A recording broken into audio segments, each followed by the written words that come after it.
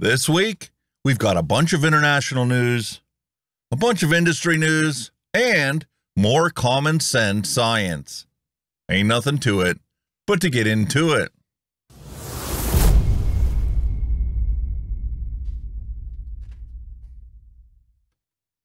I'm DJ Alex, and this is your Hunky Vape Global 20 Vape Science Advocacy News for the week ending 9 September 2022. It was just a few days ago on the live stream that we spoke about Liz Truss replacing Boris Johnson as Prime Minister. And for those of you not familiar with the UK government, this required all parties appear before the Queen of England, who at the time was at Balmoral Castle in Aberdeenshire, Scotland, a 500 mile trek to install the new Prime Minister. Yet 24 hours after the Queen appointed Liz Truss, even Vaping with Vic's Victor Mullen stated, Hopefully her health does improve and she makes recovery, but there's a general feeling that she may be slowly fading away. And just a few hours later, we have witnessed the end of the second Elizabethan age. Rest in peace, Elizabeth Alexandra Mary, Queen Elizabeth II. Queen from 6 February 1952 to September 8, 2022. The 70 year old reign ends with her passing and I would like to extend my condolences to all of you out there mourning the loss of this beloved queen. The world has lost the longest serving monarch in history. At 96, she was surpassed by her 99 year old husband of 75 years, the Duke of Edinburgh, who incidentally was the longest serving consort in British history. May they both rest in peace. Moving on to some industry news. Only 21 days left. Inventory of the progress and implementation of various aspects of e cigarette supervision during the transition period. From October 1, 2022, the domestic electronic cigarette market will fully enter a new era of legalization and standardized development. You see, folks, China Tobacco has taken over the entire tobacco marketplace, including electronic cigarette makers. And unlike the FDA, who bungled public health with their PMTA process, China's State Tobacco Monopoly Administration has added 116 new companies to a total of 306 enterprises holding an e cigarette production license. This adds Cloud9 and 115 other companies to a list of previously authorized companies. Ones like Voopoo, Smok, Relx, Use, and Smoore. Meanwhile, the FDA continues to misinform the public, cracking down on non tobacco nicotine. In total, the FDA has accepted over 350 applications for non tobacco nicotine products, with the vast majority being for e cigarette or e liquid products. Everyone else gets a warning letter to stop selling. Nearly 1 million applications from more than 200 separate companies with some refused to accept PMTAs several thousand pages long. Yet the FDA has once again used some fatal flaw strategy to mass deny more than 800,000 non tobacco nicotine PMTA applications. I honestly wish this issue could be as simple as the FDA once again mass denying PMTAs. But it seems the FDA is lying to the public to avoid political backlash. You see, folks, according to American Vapor Manufacturers Association President Amanda Wheeler, her organization's member companies alone have received acceptance letters for 4,700 PMTA submissions. This is both fantastic news and willful malfeasance by the government agency tasked with the protection of public health. You see, on one hand, we have 4,700 products that the FDA has accepted applications and have the potential approval at some point in the future. Meaning that ex smoking adult may one day be able to legally purchase a vaping product that has been verified for safety by the FDA.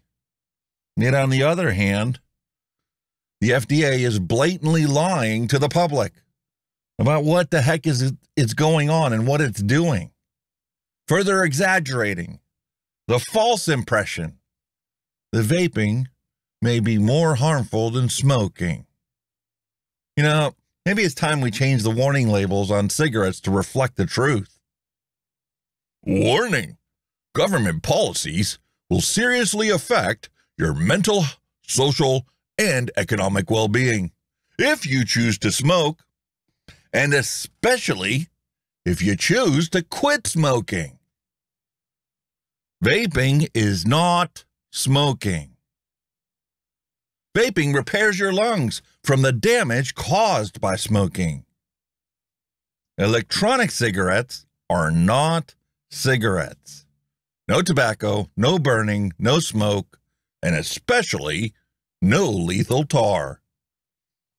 Except, you see here, the pharmaceutical industry doesn't like when people get healthy.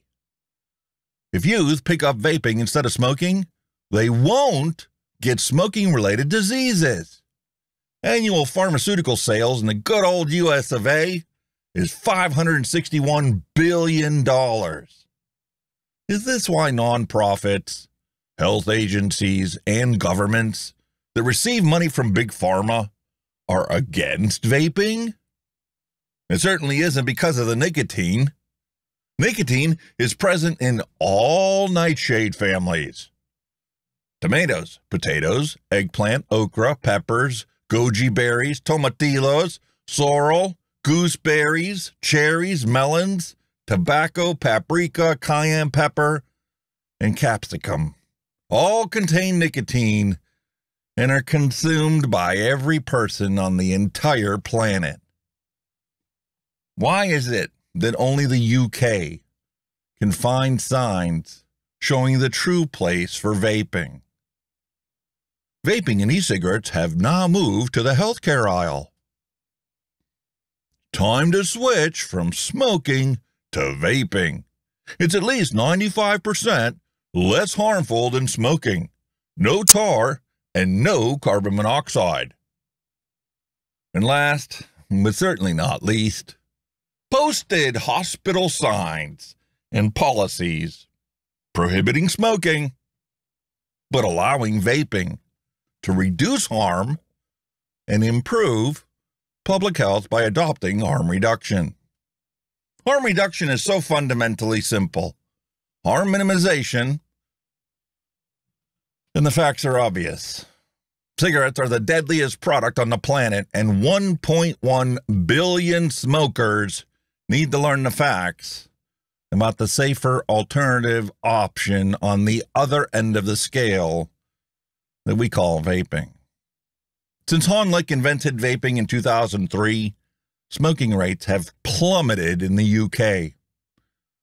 And unfortunately, smoking rates are growing in areas where this technology is being banned or simply treated like smoking. I'm sorry, folks. I'm sure that all of you that are watching this right now already know all this stuff. So, how about I fill you in on something that I bet you don't know? This past Monday, September 5th, a 6.8 magnitude earthquake struck the southwestern Chinese province of Sichuan. The death toll of this earthquake is currently at 86, with over 400 people injured and another 30 people remaining missing. Shockingly, this area has already been suffering from a drought and a heat wave affecting both water and power supplies. And if that wasn't bad enough, this rural province has also been under a strict COVID 19 lockdown. So, Monday at noon, an earthquake devastates this area under lockdown.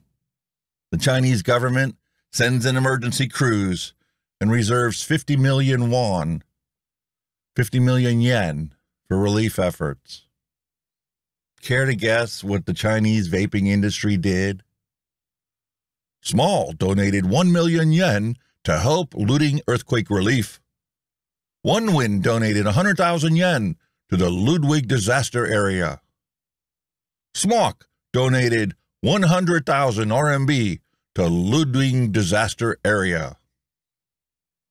Ladies and gentlemen, once again, we have definitive proof the vaping industry is not a real tobacco industry, let alone big tobacco.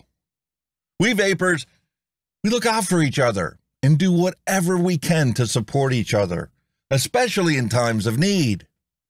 As ex smokers, we know exactly what it feels like to be let down by the system. And we know exactly what it's like to be treated as second class citizens. But we also know, more importantly, the joy of helping others. Meanwhile, Big Pharma and Big Tobacco are only interested in one thing making money, regardless of cost or consequence. RJ Reynolds ordered to pay Altria $95.2 million for e cigarette patent infringement. The jury in the U.S. Middle District of North Carolina awarded Altria $95,233,292 in past damages through June 30th, and post trial proceedings will address ongoing damages through the expiration of Altria's patents in 2035. At trial, Altria urged the jury to find a royalty rate of 5.25%, which the jury accepted in returning its award of past damages. Altria accused Reynolds Vapor of violating three patents related to storing and heating liquid nicotine in vaping devices.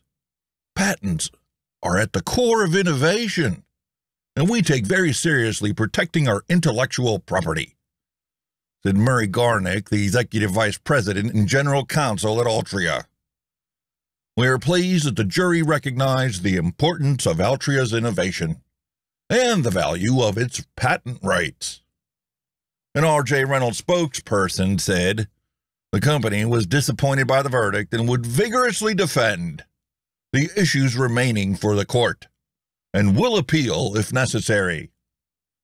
The verdict comes four months after Altria subsidiary, Philip Morris International Incorporated, won a $10 million judgment in June in Virginia on claims that RJ Reynolds Vuse Solo and Alto devices infringed on two of its vaping patents. RJ Reynolds sued Philip Morris and Altria in the same case, claiming Philip Morris's heat tobacco device infringed on e cigarette patents. RJ Reynolds also won an order blocking imports of the device, which Altria distributes in the United States. And this was filed at the U.S. International Trade Commission. IQOS, Heat Not Burn could literally be saving hundreds, if not millions, of American lives. But instead, it's just stuck in another patent lawsuit preventing harm reduction products from being sold in the United States. Meanwhile, in China, one company sees the airflow improvements or coil changes on your products and then goes and incorporates those changes into their products to improve customer satisfaction and save people's lives.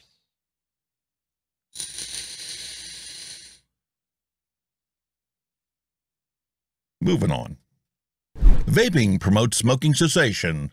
More data from the UK. Published on the American Council on Science and Health website, Cameron English says a recent survey conducted at schools in England has yielded additional evidence that vaping is an effective smoking cessation tool. The UK's National Health Service just published the result of its survey smoking, drinking, and drug use among young people in England. The media amplified its findings. The teen vaping increased slightly from 6 to 9% between 2018 and 2021. The headlines and endless commentary were everything that you would expect from public health officials and journalists. But the key takeaway from this recent study is the vaping promotes smoking cessation, and non smokers don't vape. That is fantastic news. Well, you know what? Since we covered that one so quickly, how about I hit you with another obvious fact backed up by vape science? Teens are more likely to try e cigarettes if their parents smoke. According to research presented at the European Respiratory Society International Congress in Barcelona, teenagers with smoking parents are 55% more likely to try electronic cigarettes. This should be a loud ringing bell in the ears of tobacco control. The solution isn't to ban vaping or constantly fill everyone's news feed with scaremongering stories. The solution is to provide harm reduction and to get smokers to quit lighting tobacco on fire. We already know the main reason teenagers give e cigarettes a try it's curiosity. Scare stories do not work to stop youth use. But unfortunately, it has significantly stopped adults from using the most successful product on the planet to stop smoking. Vapes shouldn't be banned to be a tobacco free country. Speakers of Save Vaping, Save Bangladesh webinar present.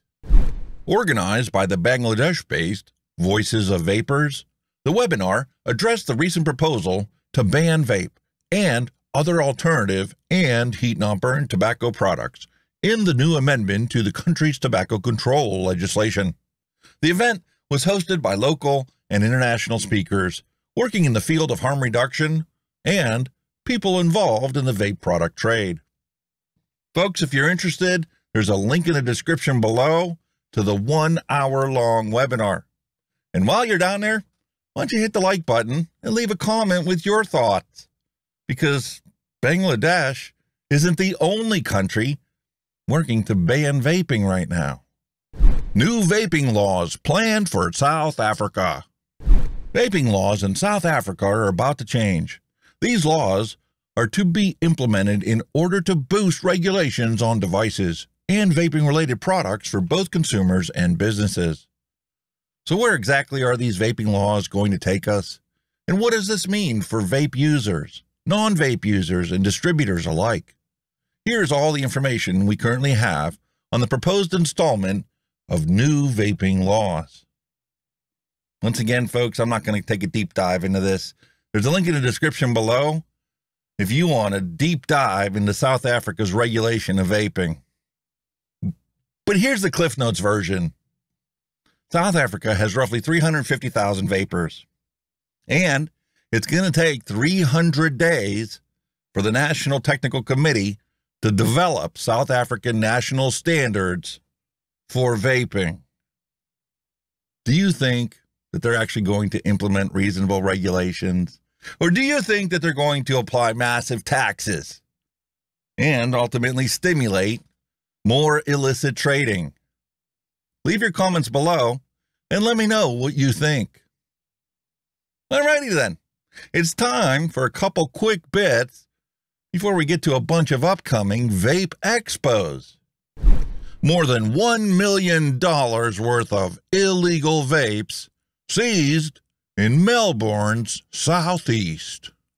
Officers patrolling Dingley came across massive supply of electronic cigarettes when they noticed two men acting suspiciously by a truck parked in a car park on Boundary Road about 5:30 p.m. on September 2nd according to police. The men allegedly gave differing stories about what they were doing to police before police were given consent to search the truck.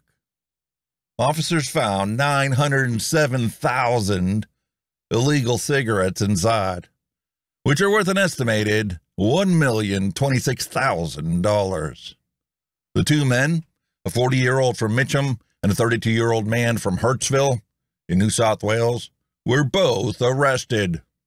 They were later charged with negligently dealing with the proceeds of crime and possessing tobacco products with the intent of defrauding revenue of the Commonwealth.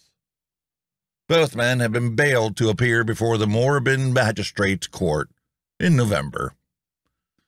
You know what? If you're a passionate advocate for vaping, I urge you not to watch the 9 News coverage of this incident. The video does not talk about illicit trade or why there's such a large black market in Australia.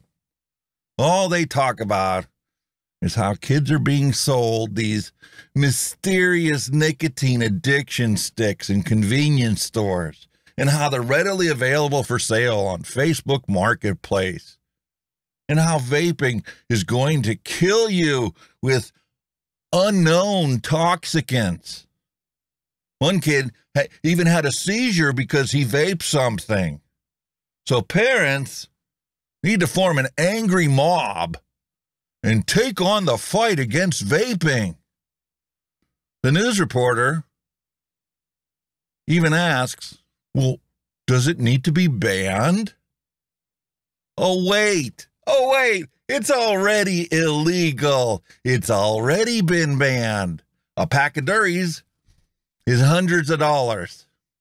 And these vapes are only a 20. So parents need to get mad because banning them just hasn't worked. Bloody fools make no sense to anyone who understands what's going on. Just like in Thailand. Thailand to apply tax to non alcoholic beer. Not only is Thailand planning on increasing existing tax on all types of alcohol, but it also plans on applying alcohol tax to non alcoholic beer, according to Director General of the Revenue Department. Ekniti said that the department will increase tax on all types of alcohol in the fiscal year 2023 to help combat alcoholism among Thailand's youth. More and more young Thais are drinking heavily, so the price hike aims to reduce alcohol consumption and improve the overall health of the public, he said. The sincerity of Nicky's concern for the public health is questionable at best, because he also said that the department will start taxing beer containing 0% alcohol. He said that the younger generation is showing more interest in non alcoholic beer, so we should tax that. Surely the non alcoholic beer should remain tax free if the goal is to reduce alcohol consumption among young Thais. Don't you think? Ekniti also said tax on electronic cigarettes would be increased. Seeing as how electronic cigarettes are illegal in Thailand, it is unclear how this tax will be applied or is already being applied to vapes, unless Thailand is planning to legalize vaping anytime soon. Just last week, the government reconfirmed their firm stance on the electronic cigarette ban. Pro marijuana health minister Anutin Charnvirakul said that vaping poses a major health risk, especially to young people who account for more than half of all e cigarette users. Talk about some fake news, people. More than half of all electronic cigarette users are young people.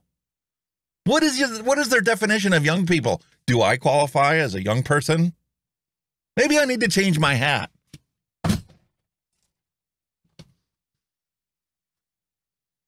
There. Now, do I qualify as a young person? No. How about now? Do I qualify as a young person?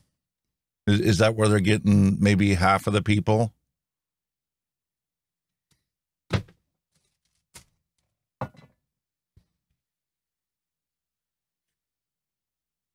Anyway, we need to tax all illegal products because that makes any sense. If it's illegal, well, people are buying the illegal items from someone who I'm sure has no reason to document and pay tax on the illegal sale. Just like it makes no sense to tax non alcoholic drinks to stop people from drinking alcohol. Maybe we need to increase the tax on all vehicles, you know, to stop drunk drivers from getting into crashes. And you better increase fuel taxes too. Well, you know, to prevent youth driving. 38,824 U.S. lives were lost in traffic crashes nationwide. That number marks the highest number of fatalities since 2007. Oh man, we have a youth driving fatality crisis. This is an epidemic. We need to tax cars, tax fuel, and if that doesn't work, we need to ban all vehicles. Sounds pretty stupid, doesn't it? Moving on. Dairy owner calls for better security after stolen car ram raid in Christchurch. A Christchurch business owner whose dairy was ram raided early on Sunday morning says bollards should be installed outside the stores to protect them. Maltworks convenience store on Port Hills Road in Heathcote Valley was ram raided with a stolen car at about 1 a.m. on Sunday, police said. Shop owner Dhruv Kumar Rav had watched security camera footage of the incident and said three Ram Raiders appeared to be teenagers. They stole about $3,000 of vaping gear, chewing gum, drinks, and lollies. He said one of the three offenders drove a car into the front of his store, while the other two waited outside in another vehicle. The ram raid caused about $7,000 worth of damage, he said. Police said in a statement that they were investigating the ram raid, which was perpetrated with a stolen car. They called for any witnesses or anyone with information to contact police via the 105 phone service, referring the file number 220904 slash 6128. Information can also be provided anonymously via Crime Stoppers on 0800 555 111 or at www.crimestopper-nz.org. How's that tight regulation in New Zealand working out? Has it stopped these juvenile delinquents from ram raiding another dairy selling vapes? Huh? Has it worked? I'm telling you, people, laws only keep the honest people honest. It does absolutely nothing for criminals who will do whatever they must to get whatever they want. Moving on. From Dubai, Gang steals e-cigarettes worth 80,000 from unattended vehicle. A gang of 5 people stole 19 boxes of electronic cigarettes and 6,000 dirhams from a vehicle belonging to a trading company. According to a police officer, a team of criminal investigators was able to identify the suspects. They admitted, after the arrest, that the crime was planned by observing vehicles parked in International City and that they waited until late hours of the night to carry out the robbery. The Dubai Criminal Court sentenced four of the accused to three months imprisonment. The fifth member of the gang was given the same sentence, but in absentia. The court also ordered them to pay jointly a fine of 86,000 and to be deported from the state after serving their sentences. All right, folks. One more story before we get to the vape expos. City of Dayton, Kentucky passes ban on smoking and vaping over some objection.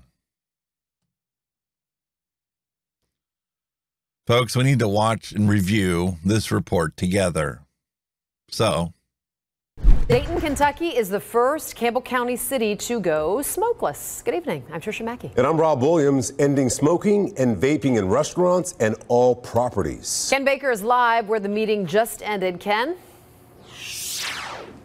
Yeah, Trisha Rob, of course, that move was a little controversial tonight. Vaping and smoking inside of businesses, parks, inside of any public property now banned. So that move happened in a two, three to two vote, I should say, by council members.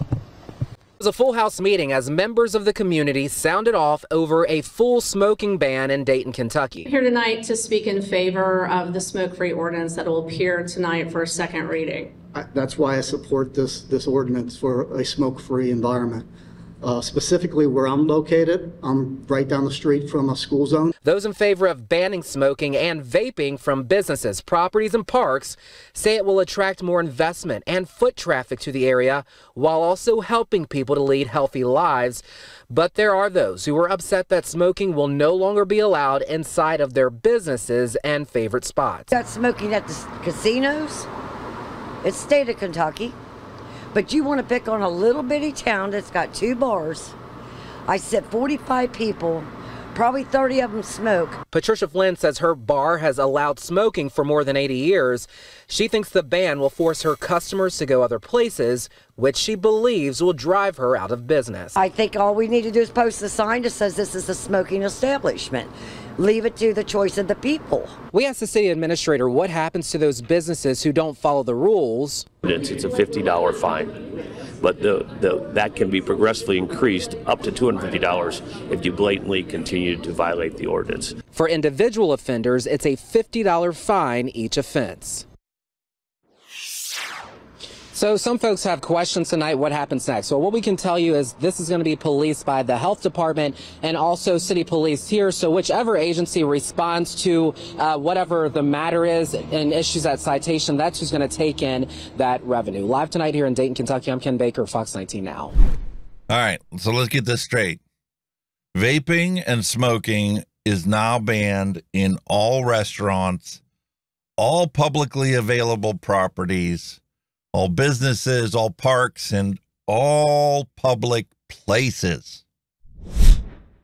Dayton, Kentucky made it illegal to smoke or use the product to quit smoking anywhere in public and they think a $50 fine that's incrementally increased up to $250 is going to stop businesses or people that choose not to comply with this ridiculous prohibition. I'm not even going to get into how illogical or how wrong this is. Moving on. Yes, folks, time for some Vape Expo announcements. Yeah, finally. This is awesome. Voopoo will join in Intertabac 2022. See you in Dortmund, Germany. Oh man, I wish I could go to Dortmund, Germany for this Intertabac Expo. Anyway, Intertabac is the world's largest trade show for tobacco products and smoking accessories. From 15 to 17 September, the 42nd Dortmund International Tobacco Fair, also known as Intertabac, will be held in Dortmund, Germany. This year, a fully upgraded Intertabac has expanded its coverage to electronic cigarettes, tobacco, and cigar. It will attract over 200 brands and more than 20,000 visitors to the site. Voopoo, as a pioneering brand in e-cigarette industry, will take all category, hot selling, and newly launched products to the site and bring worldwide visitors enjoyable vaping experience. Link in the description below if you're interested. Vaping Expo, exhibitors from half the world arriving at the Padua Fair. Vaping Expo is already a success. When there are just under three months to the start of the two days in Veneto, in fact, there are already many prestigious adhesions received. Saturday, 26 and Sunday, 27 November will be therefore Vaping Expo. the first in Padua of the Vaping Fair. In the control room, the patron, Ronaldo Cavalletta, revealed how the Padua Fair was born. From the desire to create a meeting point between operators in the sector and users to update the square on the main news. Also underlying how meetings such as Vaping Expo give the opportunity to the various actors to be able to confront themselves, also on the critical issues and problems that distinguish the particular historical moment. The Heart of Veneto, therefore, location of initiative that is already almost sold out. Almost sold out? It's over two months away. And it's already almost sold out. So I guess we need to take a look at the upcoming Vape Expo in France. Vape Expo, opening of the ticket office for the October Vape Show. As every year, this is the event awaited by French speaking and foreign vapers. The Vape Expo International Vape Show will take place at the Paris Event Center on October 22nd and 23rd. The ticket office is now open for the most impatient. We obviously advise you to take your tickets in advance. And if this is not possible, note that a ticket office will also be available on site by credit card and cash only. Admission is 10 euro for the general public and 20 or 30 euros for professionals, depending on the formula chosen. Website, if you guys are interested in checking it out, it's vapeexpo-france.com. Bonjour, mon ami. Do you think high close friends going to get you far in France? Putain de la merde. Probably not. Guess I gotta wait for, I don't know, maybe a closer Vape Expo. Maybe in an English speaking country. Anyway. Well, that wraps up the Global 20 Vape Science Advocacy News for the week ending 9 9 2022. I've got a couple reviews that I need to finish up and wrap up this weekend. I'm especially looking forward. I think you guys should especially be looking forward to the Blotto Max video. Let me tell you, folks, I am not happy with Sam or Dovpo in their release of the Blotto Max. On the other hand, the Dead Rabbit 3 and this Bello disposable have been fantastic so far. But those are all going to be for another day in another video. So my wish is always peace, love, and a hunky vape to end cigarette combustion. Have a great day.